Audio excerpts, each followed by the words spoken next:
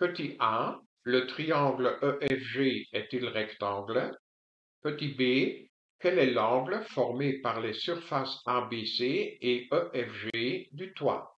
Petit c, le point C appartient-il à la droite FG? Pour répondre à ces trois questions, nous choisissons d'abord un système de référence orthonormé de l'espace.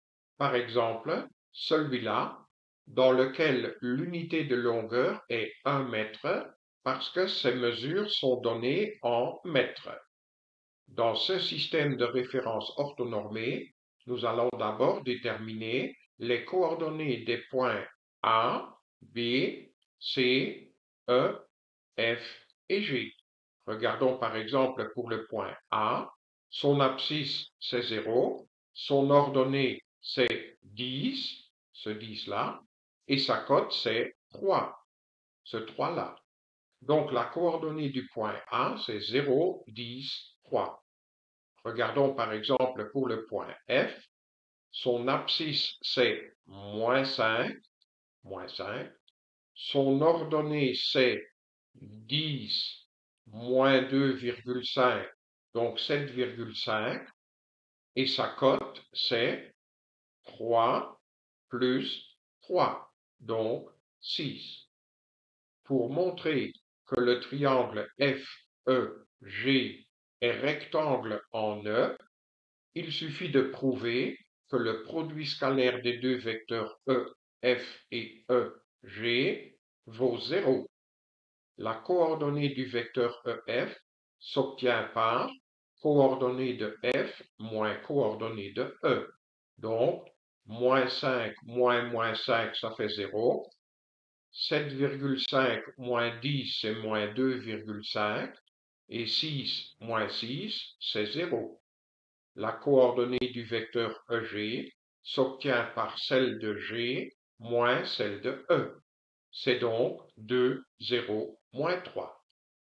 Puisque notre système de référence est orthonormé, on calcule ce produit scalaire par abscisse fois abscisse, plus ordonnée fois ordonnée, plus cote fois cote. Donc 0 plus 0 plus 0, c'est-à-dire 0. Donc ce produit scalaire est bien nul, dont nous déduisons que l'angle FEG est bien un angle droit. L'angle formé par ce grand toit ABC et ce petit toit EFG, c'est l'angle formé par deux vecteurs normaux respectivement à la surface ABC et à la surface EFG. Donc d'abord, nous allons calculer la coordonnée de tels vecteurs normaux. Commençons par le plan ABC. Nous écrivons d'abord l'équation cartésienne de ce plan dans ce système de référence. Cette équation cartésienne s'écrit comme ce déterminant est égal à 0. La première colonne du déterminant est formée par la coordonnée d'un point quelconque du plan ABC, donc x, y, z, et puis moins la coordonnée d'un point quelconque du plan ABC, j'ai choisi le point A de coordonnées 0, 10, 3. 0, 10, 3. La deuxième colonne du déterminant est formée par la coordonnée d'un vecteur directeur du plan ABC.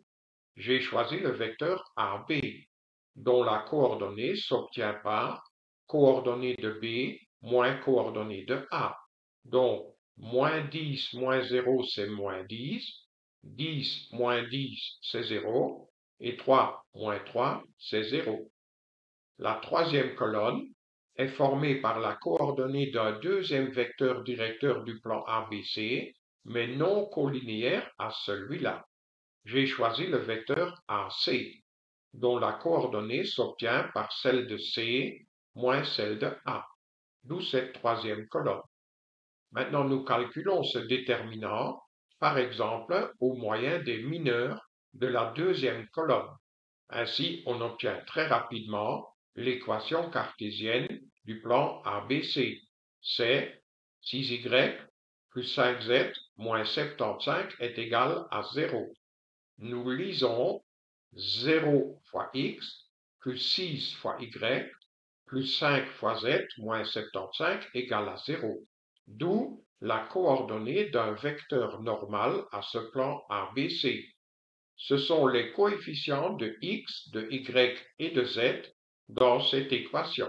Donc c'est bien 0, 6, 5. Ensuite, nous faisons exactement la même chose pour le plan EFG. Nous écrivons son équation cartésienne de la même façon que là-haut. Cette équation cartésienne s'écrit 3x plus 2z plus 3 est égal à 0. Les coefficients de x, y et z dans cette équation sont 3, 0, 2 d'où la coordonnée 3, 0, 2 d'un vecteur normal à ce plan EFG. L'angle formé par ces deux plans est fourni par la formule cosinus de gamma est égal au produit scalaire de ces deux vecteurs normaux divisé par le produit de leurs normes. Puisque le système de référence est orthonormé, ce produit scalaire se calcule par abscisse fois abscisse plus ordonnée fois ordonnée plus cote fois cote. Donc c'est 0 plus 0 plus 10, donc 10. La norme de ce vecteur-là se calcule par la racine carrée de 0 au carré plus 6 au carré plus 5 au carré. Donc la norme de ce vecteur c'est la racine carrée de 61. La norme de ce vecteur-là se calcule par la racine carrée de 3 au carré plus 0 au carré plus 2 au carré. Donc, c'est la racine carrée de 13.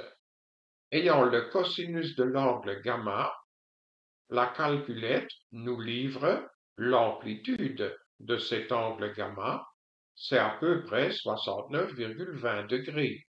Mais attention, cette formule livre l'angle aigu.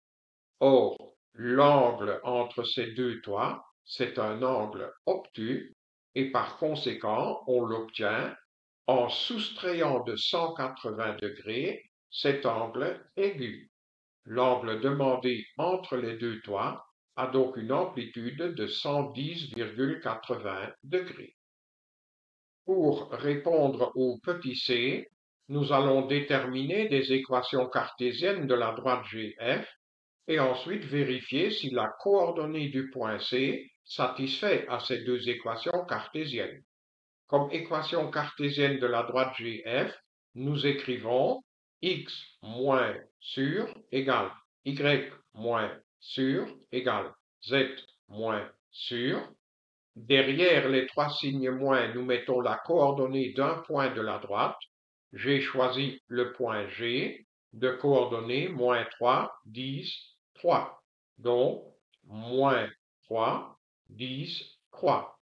Et comme dénominateur, nous écrivons la coordonnée d'un vecteur directeur de la droite. J'ai choisi le vecteur GF, dont la coordonnée s'obtient par celle de F moins celle de G. Donc les dénominateurs sont moins 2, moins 2,5, 3. Comme la coordonnée du point C ne vérifie pas cette première équation cartésienne de la droite GF, le point C ne se trouve pas sur cette droite.